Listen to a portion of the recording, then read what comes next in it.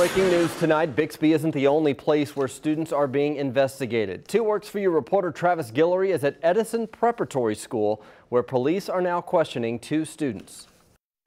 Brian Tulsa Public Schools released a statement saying that Tulsa police are investigating an incident that happened Monday night.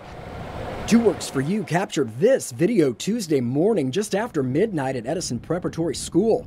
Police say two teens broke into the school overnight and one was taken to jail while the other managed to run away. Police showed up after the two were spotted on security cameras walking around inside the school.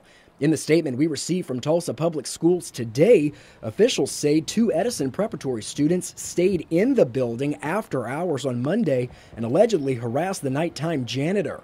TPS says Tulsa police officers were dispatched to the school and took a statement from the custodian.